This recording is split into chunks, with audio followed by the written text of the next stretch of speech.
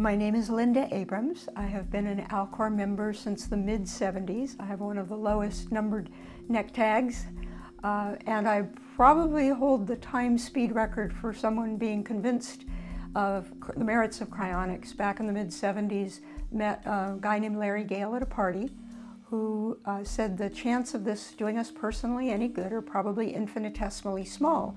On the other hand, if you're buried, there's zero. And I said, those are my kind of odds and um, immediately changed from being an organ donor to being a whole body donor to Alcor. And I've been a member continuously since. It's one of the few organizations I'm involved in that I have nothing to do with running, and I've just been a quiet member. Uh, I conceive of it as my donation to science, my uh, contribution to um, um, the future of science. I don't know if it will do me any good, but I know that it will do the progress of science some good.